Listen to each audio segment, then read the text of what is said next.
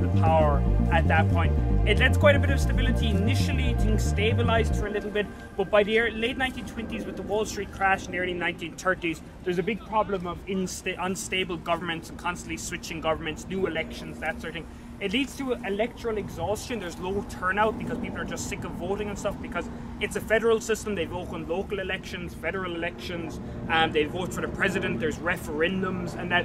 And because no party is able to command a majority, even before the Nazis, governments started abusing their, their power. They start using emergency legislation and stuff like that um, to pass laws. It's probably why people didn't react straight away to stop the Nazis when they started abusing their power. People were used to it at that point, and other people had also, like the Von Papen government, and that had misused uh, emergency legislation. That The very iconic inscription above the pillars um, as well. Dem Deutsche Volke to the German people is the translation. Dem is to the and Volke. You're probably aware from Volkswagen, although you wouldn't use Volk every day today to refer to people because it's kind of more the peasants. It's a folk, and the, Ger- the, the Nazis, for example, misused the expression. They idealized the folkish society, as in they wanted German society to return to a basic agrarian society. You know, men going out to work, women in the kitchen, and having children and stuff like that. Small rural communities, pure ethnic German sort of thing. Um, that but the encryption was only added in 1917. It was originally a planned part of the building when it was built in the 1890s, but the emperor at the time, when the German Empire and his uh, chancellor Otto von Bismarck opposed putting it up there, it sounded too democratic to them. So it was only added towards the end of the First World War, but the letterings had been cast long before that. And the lettering up there, it isn't actually engraved in the building. It's actually iron lettering that was uh, reclaimed iron from uh, cannons from Napoleon, Napoleon's armies that were melted down to make the lettering all sorts of disruptions.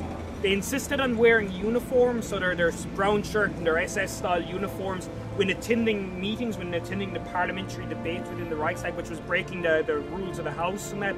So they were regularly ordered to leave and cause disruption and that. They'd regularly disrupt speeches and stuff like that, so that the actual business of the Reichstag couldn't proceed.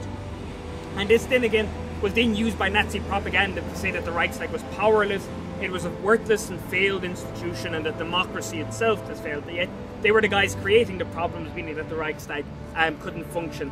They see a large boost in support then in early 1933, in January of 1933. They actually became the largest party within the Reichstag building. They had 38 uh, 38% of the votes and became the largest party within the Reichstag parliament.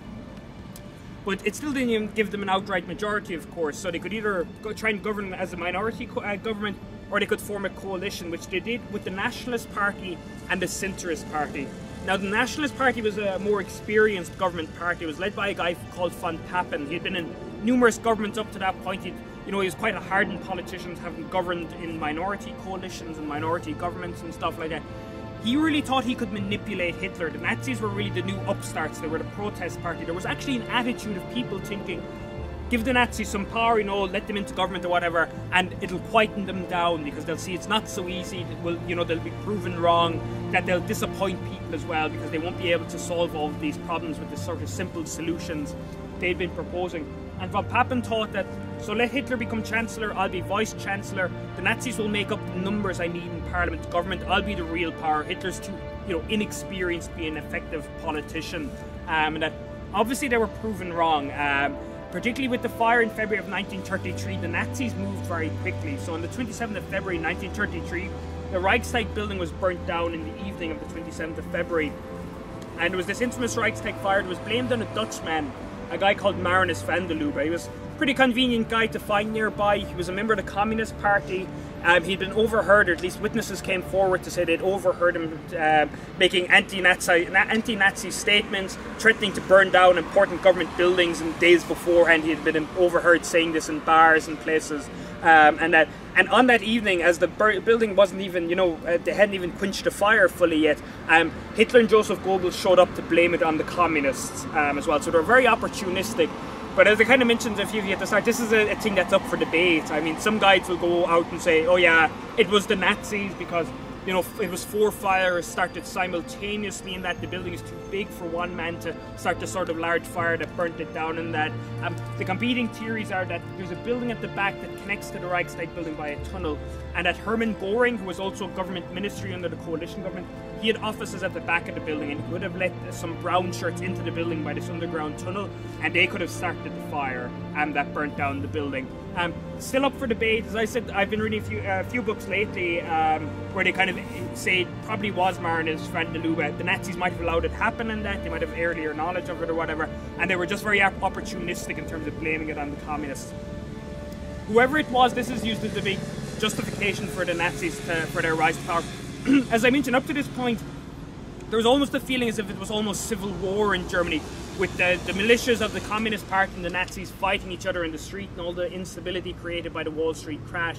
And uh, so again, when the Nazis come out with their propaganda saying that this is a communist revolution, the communists are trying to take over, people just about believe it because there's already this feeling of massive instability in Germany. So they blame it on the communists. They, they get Hindenburg, the president at the time, to implement emergency laws that allowed Hitler to rule by decree, suspend human rights, and they use it to ban the opposition Communist Party, round up members of the Communist Party and that. And in March of 1933, without any large debate or anything like that, the Reichstag passes the Enabling Act. Now, it was only meant to be for four years, but in 1934, there's a referendum in Germany. Of course, it's a totally sham referendum at that point because the Nazis control all the organs of the state in terms of the media and that. And it asks people, do you want to make Hitler Führer? Do you want to make him leader of Germany? And of course, it's passed with 90% support and that. But really, it, it's you know the moment the Reichstag building is burnt down and they implement emergency laws, that's really considered that's the Nazi rise to power. That's when they gain enough power to rule as a dictatorship and with absolute power um, in Germany. The Reichstag building itself, there was some basic repairs done to it after the Reichstag fire in February of 1933. The, the building wasn't used. The, the Reichstag Parliament, it became meaningless first of all, but it, it occasionally convened for meetings with only Nazi party politicians represented. And they actually used to meet in an opera house that used to be roughly where the Chancellery, where the Federal Chancellery is today, over here. And it was just a backdrop for big speeches by Goebbels and uh, Goring and people like that for big events. Um, the Reichstag building itself then took more damage at the end of World War II when the Russian army attacked uh, Berlin. After they broke through the Oder-Neisse line um, in 1945, uh, throughout May they encircled Berlin and big pincer movement going around um, Berlin. And then they started to close the net on the center of Berlin. They came in in a big pincer movement from the southeast of Berlin and from the northwest. So they would have come roughly from this direction. There's a bridge over there, in the Moltkebrücke, um, towards the end of May, they were approaching. They were approach, uh, They were sorry, advancing along the north bank of the river, trying to capture a bridge along the way. But of course, the defenders were blowing up bridges as they were about to fall into Russian hands. But the Moltkebrücke here, they tried to blow it up, but it didn't fully collapse. So the Russians were able to repair it in about 12 hours, and they were able to cross the bridge there. One of the flak towers, um, it used to be next to Bahnhof Zoologischer Garten, which today it's actually part of the zoo. There's nothing really left of it today, but where it was is now actually part of Berlin City Zoo, close to where we were. That was still functioning, and the artillery started targeting um, the Russian soldiers here, crossing the river here and crossing into this open area here, um, into the Tiergarten.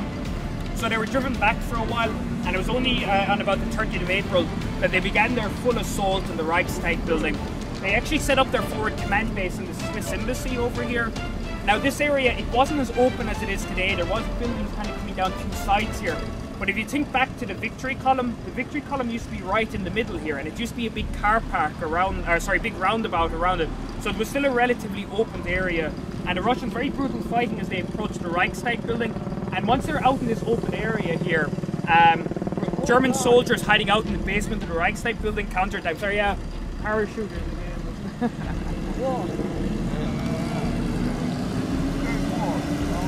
yes.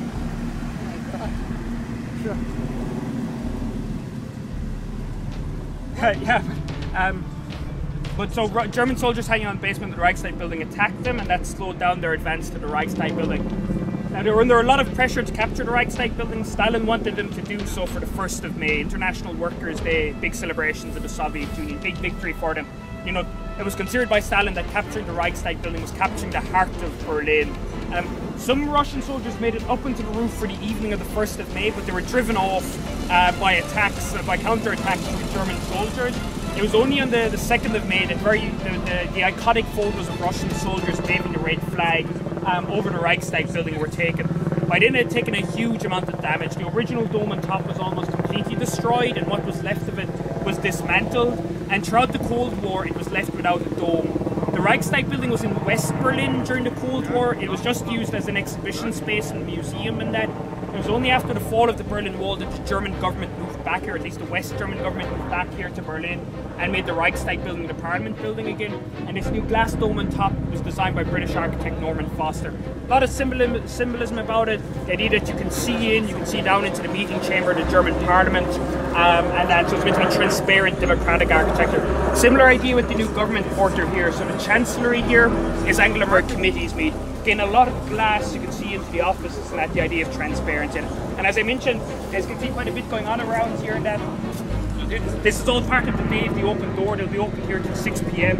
And particularly the Chancellery here, because this is what everyone wants to see, of course. This is set up for as many people as possible to go in, so you can go in and out quite quickly here. So if you are interested in seeing stuff after the tour, you could very easily come back here and check out the interior of the Chancellery. They do funny little exhibitions in there for the day of the open door. You'll get to see presents that have been given to Angela Merkel by like George Bush and everything um, in there. Um, Where is he landing? Yeah. Great head on, guys. What we'll do is we'll go back this way. You'll see there's a graveyard there. We'll be you'll see from this corner where the.